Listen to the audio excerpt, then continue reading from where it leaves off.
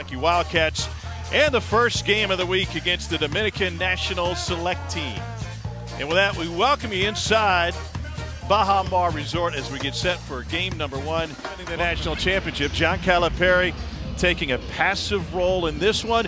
He'll be up there with Bruiser Flint and company uh, throughout the week, watching in his 14th season as Kentucky's head coach. If he can get Oscar Tshiebwe and others involved to be a national championship contender, that would be the biggest payoff. The biggest thing I see right now is you and I have a better seat than John Calipari at this game. I mean, that, that's the first time ever. Enjoy it while we can. He's going to delegate those responsibilities to Orlando Antigua. But you're right. I mean, Oscar Tshiebwe is surrounded by some great talent, and him being a willing leader, I think allows this team to mesh very quickly. Okay, so it's an opportunity for Orlando Antigua, second year back with the Kentucky program, now the associate coach and former head coach for the Dominican national team. I know you spent some time talking to him about that program, one he's very close to and proud of. Absolutely. I mean, he, has got a number of players on the opposing team that he has become really close with, that he's coached at Illinois, and so a lot of familiarity there. He's not only looking for, but he thinks they have great opportunity to do so. And he said that's the difference when you get to the NCAA tournament with Final Four national championship teams. And he's challenged three. That's an interesting story. Talk about that in a moment. But he said when you get to the tournament, you have to have guys who are stoppers and shot blockers. And it's not just the bigs that provide that for this Kentucky team. Ooh. Beautiful pull up from Daimion Collins. I hadn't seen that.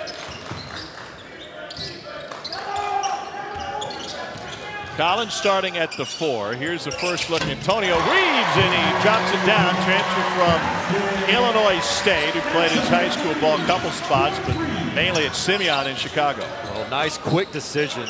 Because when I watched his old clips from a year ago, I mean, he's a guy that really is kind of ball dominant, a volume shooter, but he's not going to be able to just bounce it 10 times in a possession in this type of offense with all his talent around him. Wheeler to Tshiebwe.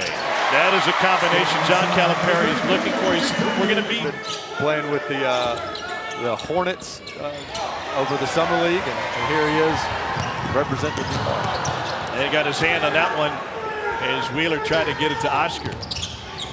Another loose ball. Dominican team gets it, and here's Familia inside. Jose the Republic has only gotten off four shots. They've also turned it over four times. Here's Martinez. Beautiful jumper.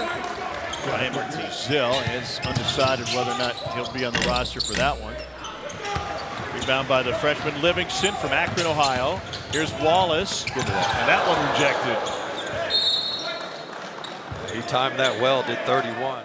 Nice sidestep here, but didn't see that second off-ball defender.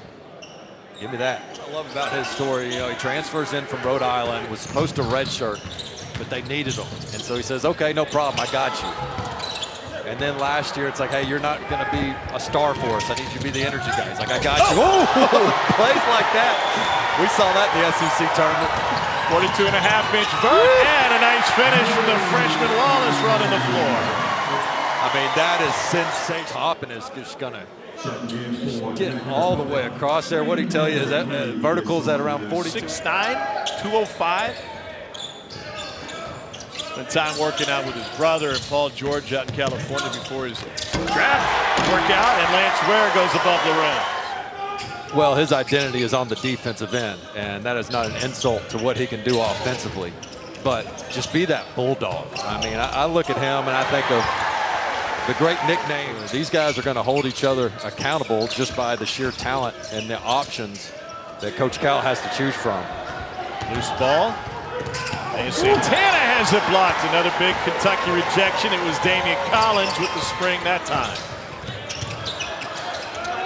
Here's Tshiebwe back in the game. Big O left it short. He's had a busy couple of days, very profitable. Colome with the finger roll.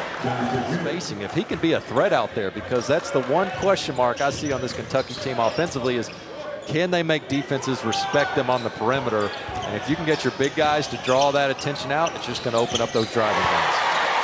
Kick came on a feed from Tshiebwe. He seemed really coachable in practice. I think his offense is further along than his defense just because of all the new principles that they're teaching right now. But, man, he's a quick study about not letting it stick and quick decisions. Dominican got late in that shot clock. Here's Collins. Drive. Oh my God. Wow, from outside the lane. Oh my goodness gracious. Can you be number one on Sports Center in a preseason exhibition game? I say yes, Daimion Collins. No fly zone. Stay on my airspace. Number four. Get him. What he represents, how he's trying to uh, give back in the community. And so it's not just because he's a star at Kentucky, it's because of all the other things that he represents. Oh, and he can do that too. Kids in the neighborhood welcoming him as the American. I recommend Kyle Tucker's reading the Athletic. Absolutely. Fantastic. Terrific Here's- article. Nice breakaway and a finish by Cason Wallace. I'd say he'll have an article coming soon. By the way, this guy can get up and can finish. Kentucky's Cason Wallace, a name you need to learn going forward. It's a Cats by 15. Chris Livingston out of Oak Hill before starting his career at Akron. He's a big LeBron fan, as you might- might imagine. There he is, just doing what the scouting report says. Ice that ball screen, which means don't let the ball handler get to the screen. Nice job of doing that. Shot clock winding down. Feliz leaves it short. Freshman Livingston will push it ahead. Here's Ware. He's got Collins. And able to use his length to get it there. It didn't go. It's a Kentucky team that was 150th in the country in tempo last year. Even though they were an elite team from an offensive rating standpoint, KenPom had them fifth best in the country in offensive adjusted efficiency. But the promise is that they're really going to get up and go. And if Chris Livingston can do that, he'll be on the floor a ton. That just makes life easier for all the penetrators on the team when you can spread that defense out. Going back to a year ago, they had so many of those pieces just banged up. Kellan Grady, of course, was hurt towards the end of the year.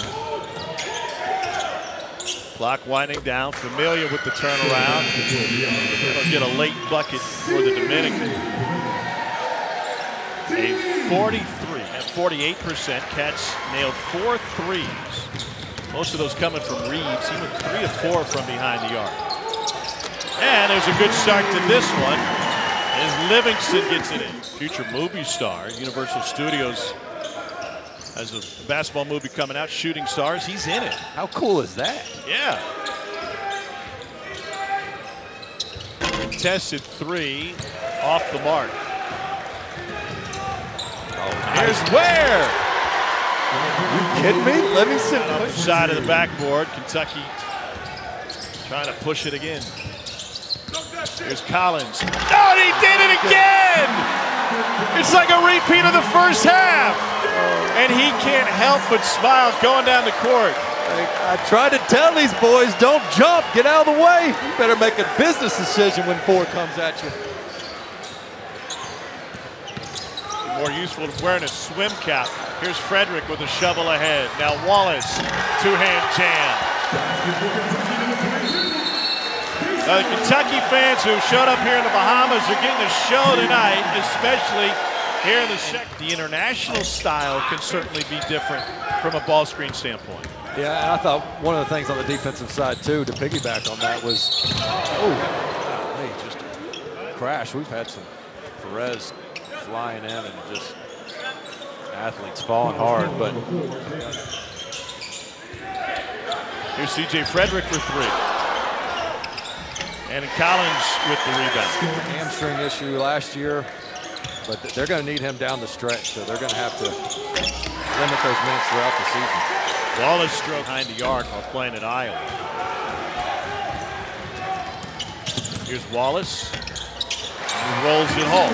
They're just such, yeah, and the versatility. And I think one of the keys to the versatility is this guy right here, top. I mean, he can play the the two, the three for you. Michigan State to win the national championship. Tyler Hansbrough's numbers might not have been as good as the previous year. Advantage of nearly 10 a game that led the country. And of course, mostly thanks to Tshiebwe. Reeves dishes. Tshiebwe finishes. First round exit. But again, the only way you can get that tempo, woo, one way to finish above the rim is getting roster when you had the heartbreak against a team like St. Peter's that Buckle these guys up. know what it's like. What was that? Jacob Toppin with a 360 and he forced it in. Wheeler with the steal.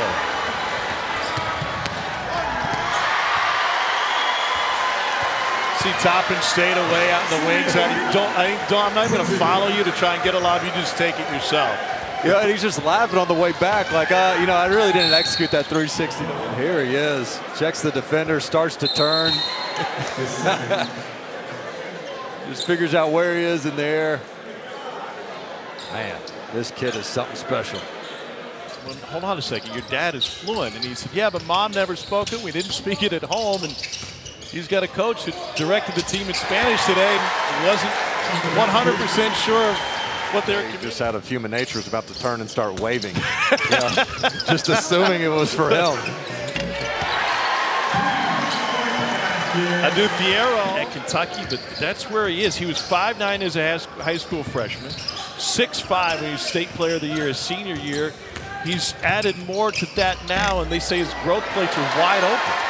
I mean, the kid was. They all turned to their assistants and said, "Wait, how come you haven't brought this kid to me? What Kentucky's offered him, and we right. haven't?" Oscar point blank.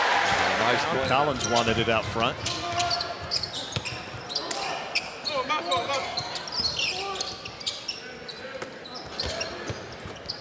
Tshiebwe with the gift. $2.75 million in NIL already, right? Well, that in a lot of places, it's going to lead to jealousy. Not with this guy. He's, he's so likable. But whether there's money involved or not, I mean, jealousy and egos is something coaches have been having to manage Thiero. since the beginning of time. And so that can be who's on the billboard, who's on the, back in my day it was, to Thiero. uh, kid keeps growing, he may have grown an inch since half court, he keeps flying some great plays right now.